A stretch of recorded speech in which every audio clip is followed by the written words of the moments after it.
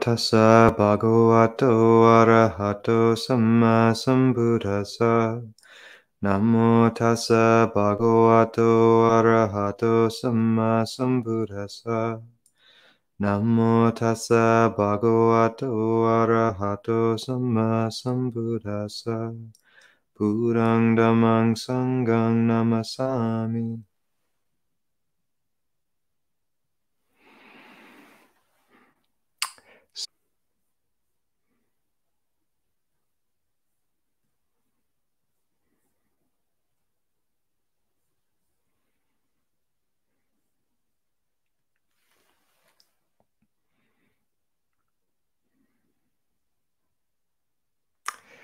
I had one idea for what to do if there was a lag in questions. So perhaps while people think of some, um, I might I might uh, read from a recent interview I have been transcribing. Um, I did this interview with a. Uh, it's not of me. It's an interview I did with a man named Billy Fitzgerald, who uh, I was speaking with Ajahn Amaro a year ago or a few years ago, and he spoke about a man who would come to the monastery and uh, just had lived this very difficult hit life, um, gang warfare, uh, fighting the IRA, and had come to the monastery and been um, completely kind of converted and saved by it. So I did two interviews with him, and uh, he um, was a pretty astounding story. So I might read some from that. This is from Billy Fitzgerald's interview.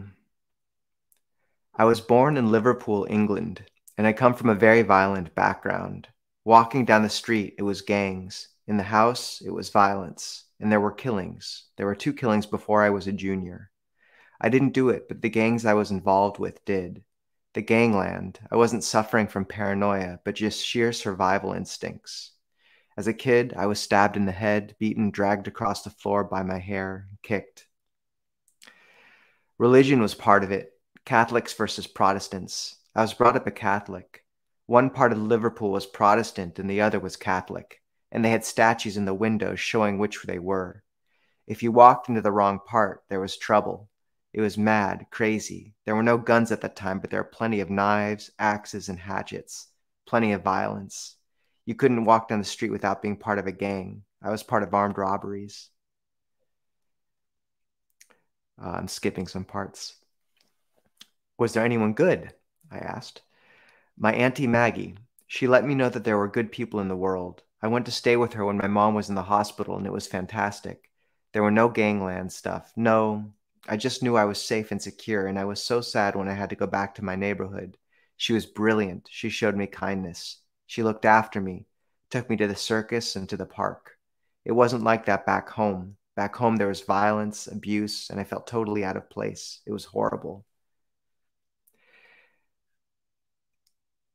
When my mom was very ill, I didn't go to school for the last two years. I was busy looking after my sister, washing, cooking, cleaning, and so on. I loved her and I felt like her dad. Then social services took her off us, and that broke my heart. That's when I ran away and joined the army. I was in the army for two years fighting terrorism, and it was just madness, absolute madness. I developed PTSD to the point where I was afraid of going out, afraid of walking down the street, afraid of meeting people. Then I got into alcohol and then ended up being prescribed drugs for PTSD. I was around 46. When they took me off the medication for PTSD, my mind exploded with stuff from my childhood, the army, and violence. It was just suicide. What I tell you now is absolutely true. I left the treatment center because they couldn't treat me anymore and went back to Liverpool. And I was having bad withdrawals. In the bedroom where I used to hide with the curtains closed, I had a television and the remote control was on the bed.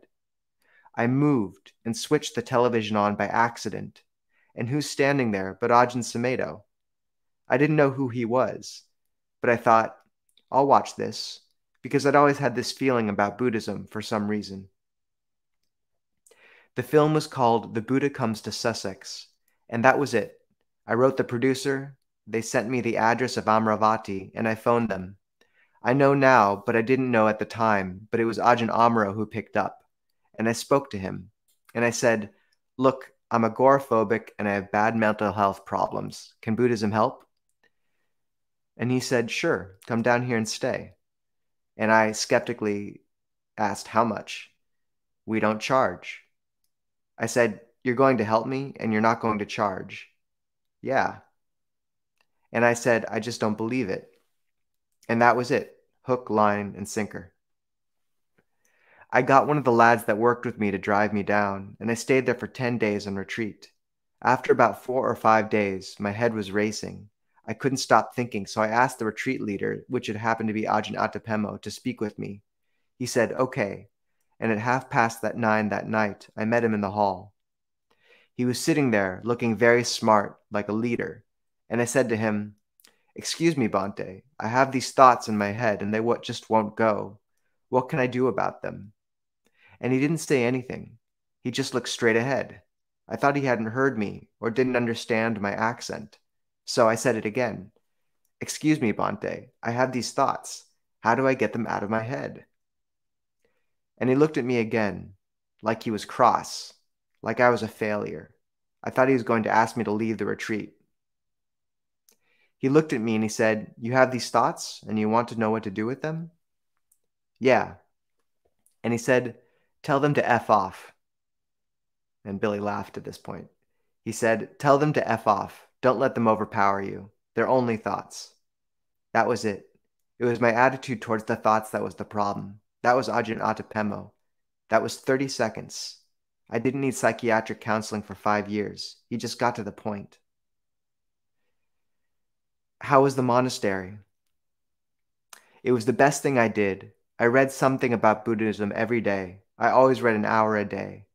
I had a book called Mindfulness, The Path of the, to the Deathless by Ajahn Sumedho.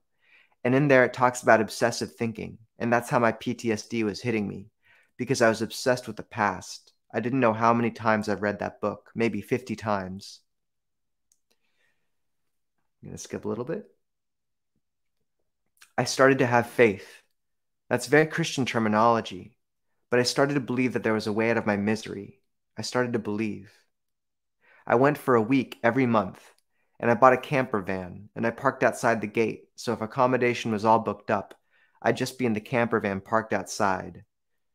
At the monastery, I did a lot of building work with the Sangha. Amaravati was in its infancy, and it needed a lot of building work, so I'd go down there every week every month or sometimes longer. I enjoyed it. They'd tell me if I need if it needed maintenance work and things like that. I was meditating every day. I had meditation beads which I used. To put it politely, I have serious mental health problems. That's a fact. But I was able to cope with them with the help of mindfulness. Did you have a moment of awakening? Yeah, I did. The only way to describe it is that I'd already been to AA, Alcoholics Anonymous, but I only had a spiritual awakening when I went to Amaravati in 1988. The teaching meant that there was a way out of the suffering, and that everything's not permanent, and I'm in control of my own destiny, that there was a way out of the 24 hour, seven day a week suffering. Basically, that's it. The thing I noticed is that whatever the negative emotions say, you do the opposite if you're angry, learn to forgive. If you're intolerant and you want to go back to someone, get back at someone. Learn to tolerate. If you're standing in line at the bus station, you have to be patient. Patient. Patience, impatience, tolerance, intolerance, forgiveness, non forgiveness. One side has pain and the other does not. That's what Buddhism was telling me to practice opposites. All the crap that had been pumped into my head as a kid, all I had to do was practice the opposite. Where there was fear, face it. When I was depressed, lighten up. When my mind was racing, learn to sit down and meditate, and so on. There's a terrorist group in the UK that's terrorized and killed friends of mine, and I had a lot of hatred towards them. And what I realized was this if I had been born in the same environment, in the same area that they were born, I would have been a member of that terrorist group. And the hatred for them left me instantly. It gave me an insight into what metta, loving kindness, was all about. That hatred inside of me towards that terrorist group Any normal person would have said, Well, of course you feel that way. But it was horrible to have inside me to feel that. As to passing the message on, I used to take monks down to Liverpool to give talks, and it was all free. I paid for it. No one else paid a penny. I wanted to pass the message on, and I think other people gained and learned a lot. I'd bring Ajahn Ottapammo or the nuns down, and I'd rent a hotel function room which held about a hundred people. I was a self employed builder. This was the mid 90s. People initially all said the same thing. They thought it was a money scam, but then they saw how humble the monks and nuns were. Okay, I'm going to skip to the end. In 1988, I came in contact with the Sangha and the simplicity of Buddhism. You might be miserable walking into a room, say you're looking for happiness, and the monk would just say, Don't try too hard, just practice opposites. It's as simple as that. Misery is optional. Searching for happiness is like being in a bath with a bar of soap. The more you grab at it, the more it just shoots out of your hand. But if you cup it gently, it just happens. So, those are some small excerpts from uh, an interview I did once again with Billy Fitzgerald, a former uh, member of the British military and um, gangs as well, who fought the IRA during the Troubles and uh, emerged with PTSD. And that's the story of his emerging from it and finding faith. Um, especially like the part where he accidentally turns on the television when he's in his hotel room unable to leave because of his fear. And it happens to be Ajahn Sumedho on screen. So I think now we have time for questions.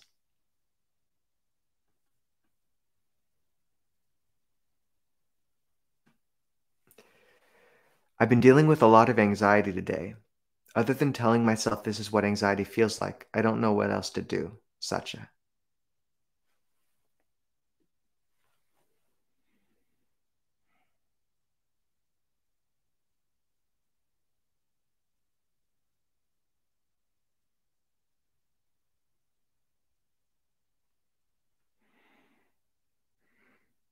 Yeah, I think, you know, the Buddhist path is divided into three sections. There's sila, morality, samadhi, um, which is unification of mind or concentration, and then panya or wisdom. And uh, when one looks at a mind state as in terms of this is just what it feels like, or it, this is transitory, this will pass, uh, that's looking at it with wisdom. And uh, that is helpful to an extent. It does help us let go. And um, there are different ways of framing a negative mind state with wisdom that can all be helpful. And it's good to move through those ways of looking at it. So you can tell yourself this is what anxiety feels like.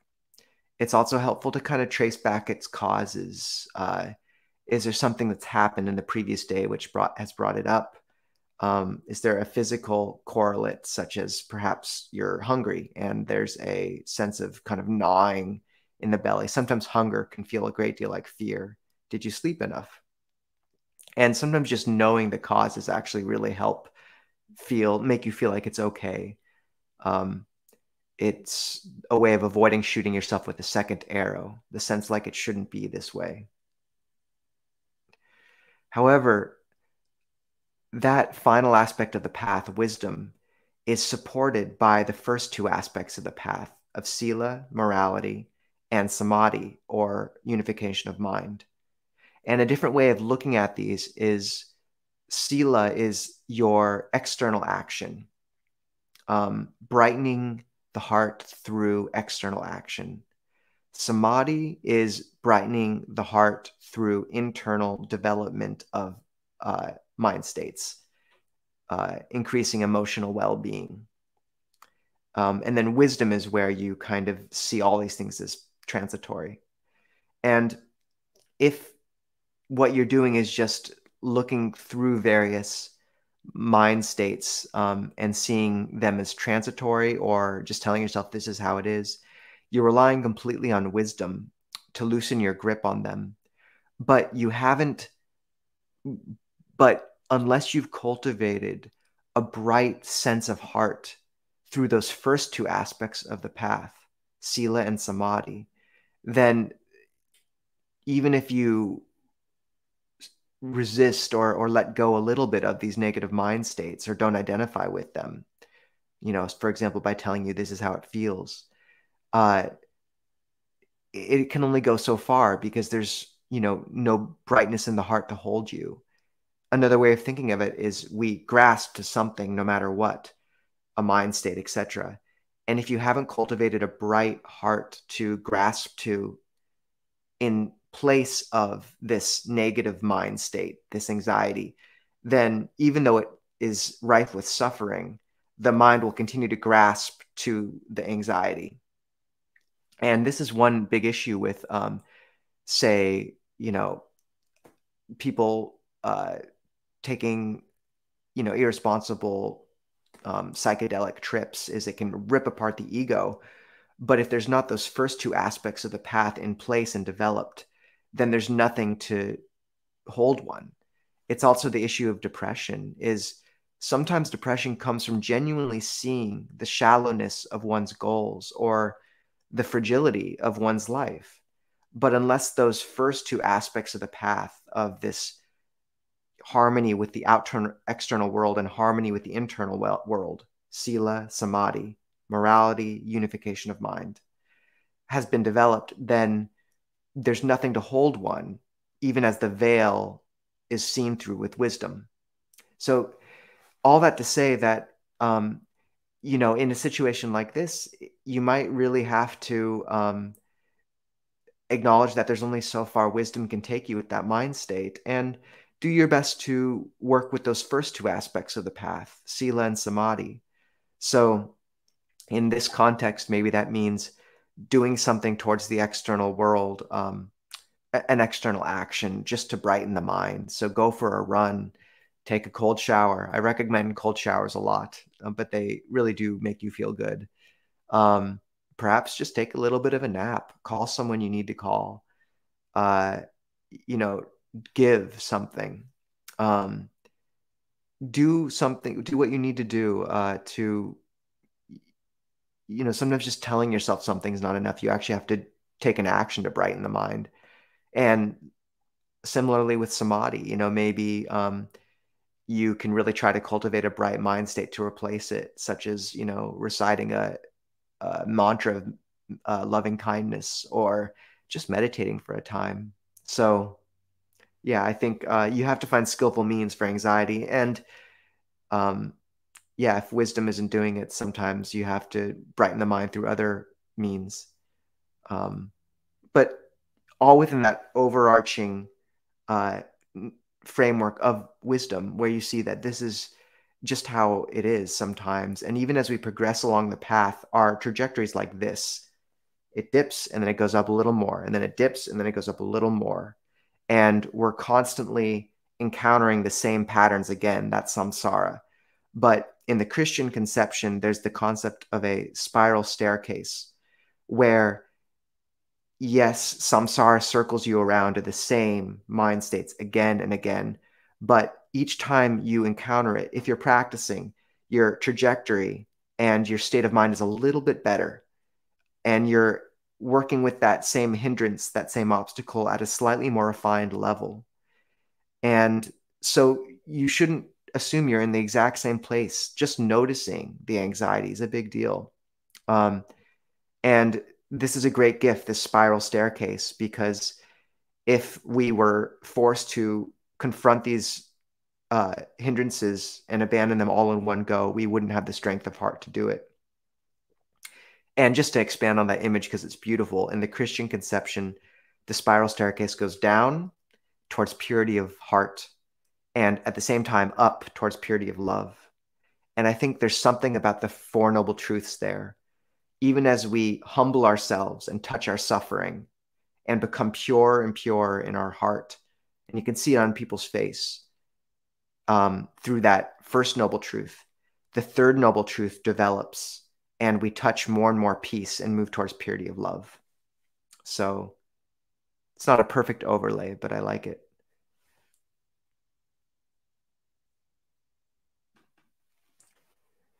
How does one deal with feelings of stagnation? Is it a common experience for monastics? Oh, yeah. yes, it is. Um, I think this is what kills a lot of monastics, actually.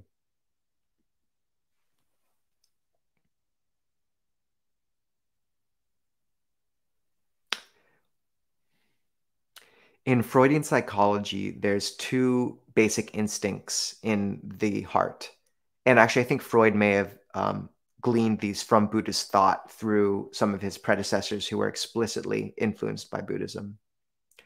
But they are the life instinct of Eros, which is the instinct to create, to give, to become. It's bhava tanha. But there can be health, healthy bhava tanha, craving to become.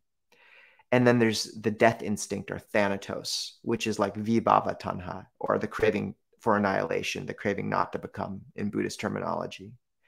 And that's the instinct to hurt, to injure, to kill. And because it's not expressed externally, it gets expressed internally as the superego in Freudian thought. So that's the part of you that berates yourself for not being good enough. It's all the aggression turned inwards.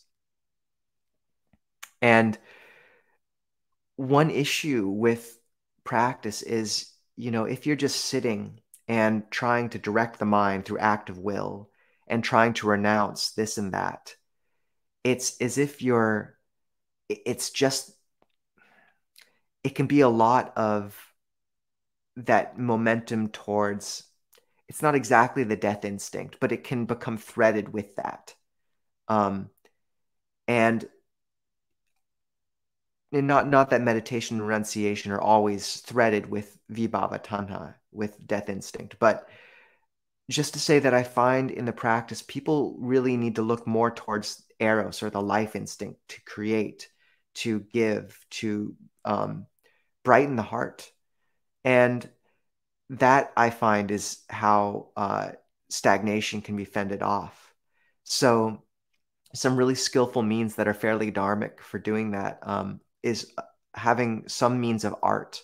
So writing a bit during the day, um, painting a little bit uh, if you're a creative type, um, and also uh, just feeling like you're growing in something. It's it's bhava tanha. It's uh, craving to become, but it's in a wholesome direction. So bringing into your practice a uh, period every day where you memorize the suttas. If you haven't memorized the discourse on the turning uh, of the Wheel of Dhamma, the Dhammacakkappavattana Sutta. That's a good place to start. Bhikkhu Bodhi has said it's the most profound words ever uttered by a human being. And I think that's accurate. Um, so if you're going to memorize anything, it might might as well be that. So to do that, to give, to um, find ways of because stagnation has a sense of if you're not expressing and giving voice to uh, an internal energy, then sometimes it blocks up itself and blocks the wellspring from which it comes. So it can be important in practice to find new routes for those internal energies because you're cutting off a lot of ones you formerly used because they're not wholesome. You know, maybe you're not going out to clubs as much. So there's not that same, I don't know, uh, venue of dancing and expression. So can you write poetry a bit or um, find some other means of expressing that that part of your heart?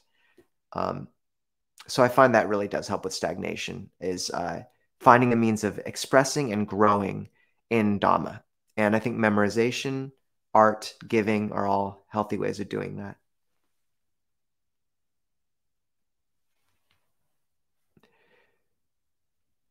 In America, I've always felt a duty to educate myself of the horrors of human nature, to analyze the failures of man and know them, so when the day came, the bell of warning could be rung. The older I've gotten and the further I've gotten into study, I've lost faith that that rationality can stop the inevitable rise of ignorance in the world. the point where there is no turning back, when brothers draw arms and shed blood among the fields where blood has been before. How do we turn away from this activity? How do we lay down the sense of necessity towards our obligations for country and our fellow man and leave it for what it is? The triple gem is the only true path, but it is difficult to leave behind the hopes and dreams we've been raised to before contact with the Dhamma.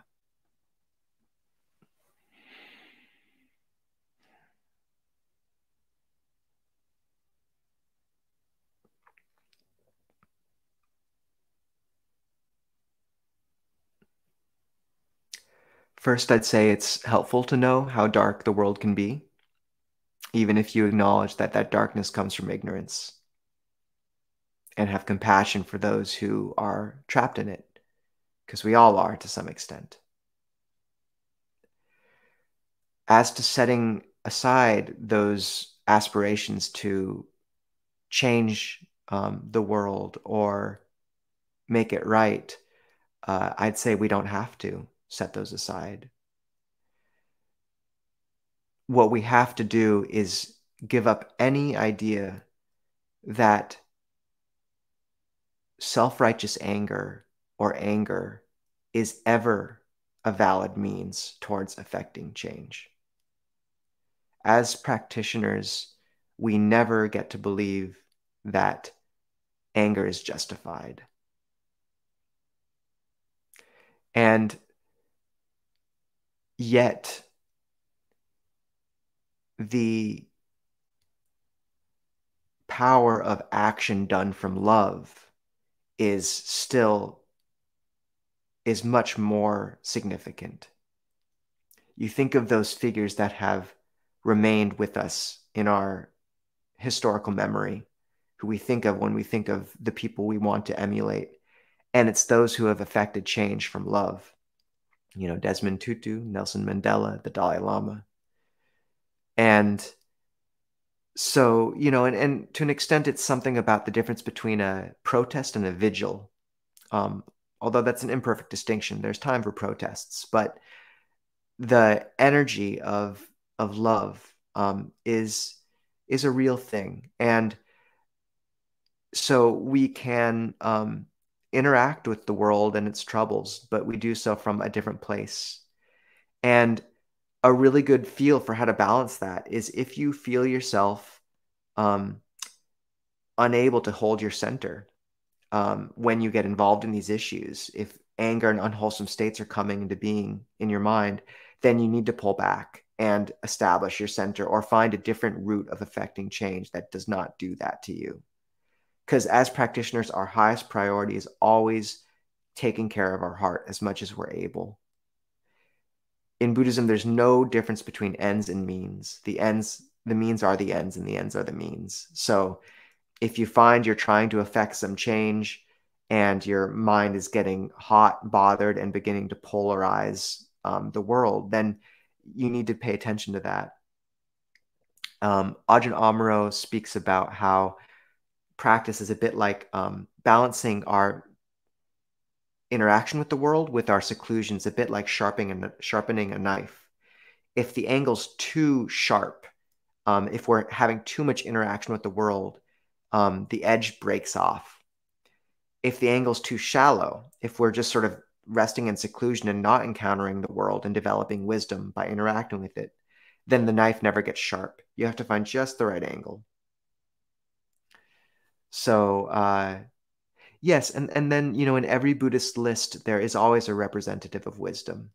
So even if our lives are guided by the Brahma Viharas, the boundless abodes of loving kindness, of compassion, of rejoicing, which they should be, if you can guide your life from those that center. Um, you have to remember that the Buddha always did put equanimity in there, equipoise because there's times when you need to step back and acknowledge that you can't affect change in this specific instance. Um, and and there's a place for that. It's madness to think that you know to try to affect things you can't and it's better to save your energy for something else.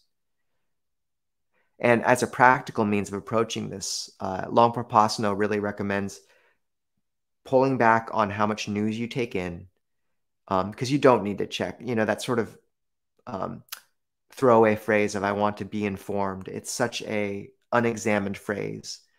Like how how many times do you have to check the smartphone every day to be informed really in a way that actually could help you affect change? So uh, much better is to uh, in the words of Luang Por Pasanno, pick one issue you can actually make a difference on, and that'll frequently be local, and really become well versed in that. And then, as to all the other stuff that you can't actually do that much about, take a big step back.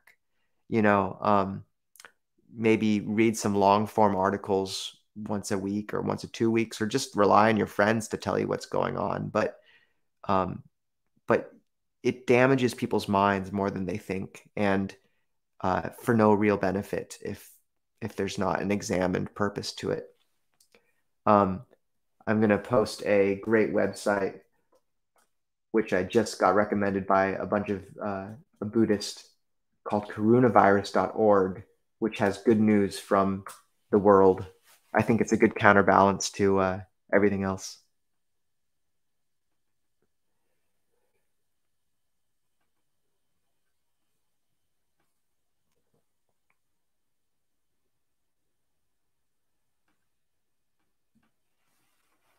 Okay, I think we have time for one more question.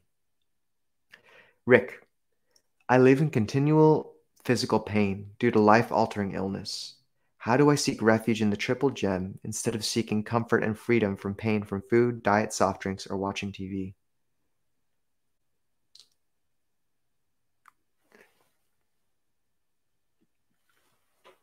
First, my consolations on the illness uh, chronic pain is something very real that I've never had to deal with.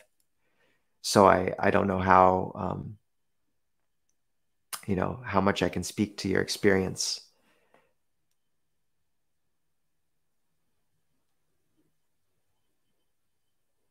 I'd say that one helpful thing is um, acknowledging the limits of just meditation.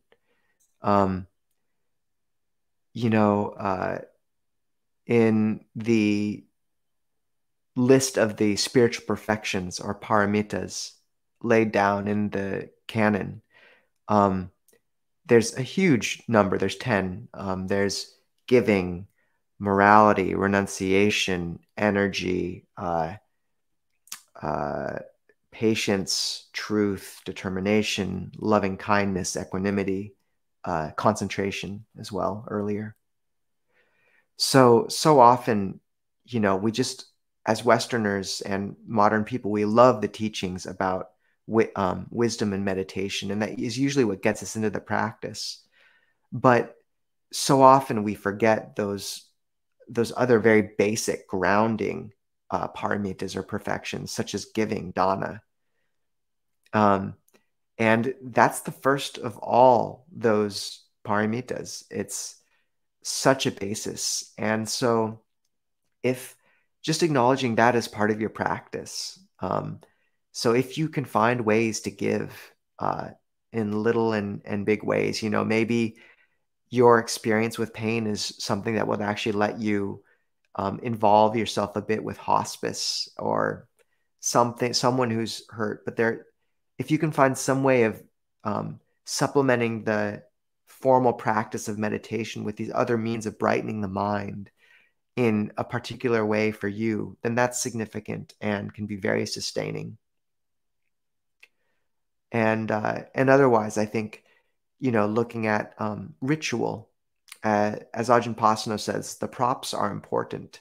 So you know, um, creating a shrine, bowing to it regularly. Uh, you know, doing chanting. Um, sometimes when pain is powerful, uh, just sitting meditation and following the breath is not enough. And so there's can be real benefit in um, giving your practice a trellis on which it can grow.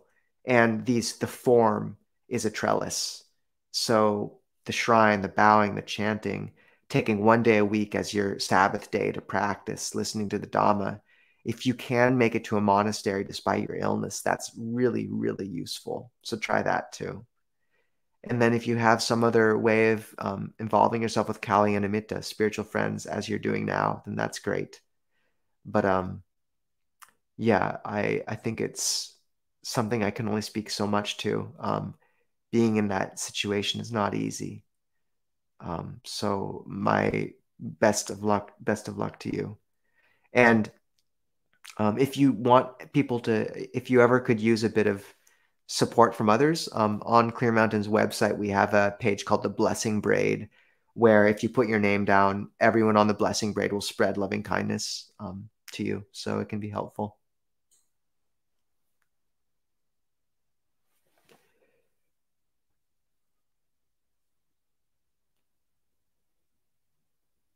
Okay, good.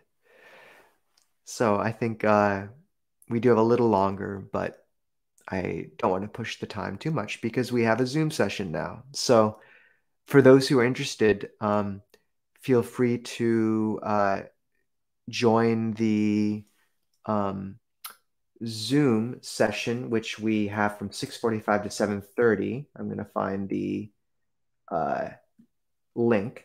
The link is, if you don't see it here, on our web page on the front page, and you just click on that link. And I'm going to post it now too. Um, yeah, and we just talk for a while. So uh, I hope everyone has a great Thanksgiving and um, don't go too wild on Black Friday, uh, which I hear is when people go shopping and such. Um, but uh, it's always a pleasure to see everyone and um, take care. Here's the Zoom link.